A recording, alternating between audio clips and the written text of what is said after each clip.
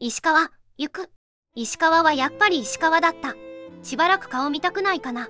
石川さん今年ずっとこんな感じやったな。佐々木朗まれな弦でほんとよかったな。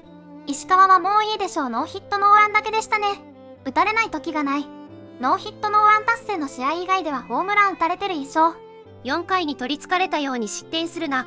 今日は風のご加護がつかんやったか笑い。ダルビッシュみたいにはなれなかったか。メンタルさえ改善すれば治るのにあのボール判定の直後だからな。ノーヒットノーランを達成した投手がこんなに苦しまなければならないのでしょうかそんなんじゃアイドルの嫁を養えないぞ。なんで序盤で6点も援護されてブルペンでセヤンのマジで終わりだよ先発陣勝利投手の権利が同行の話ですらないやん1年間ずっとやんけリードしてもこれだから石川は話にならん。引っ張ると爆発炎上しそうやなとか思ってたら案の定。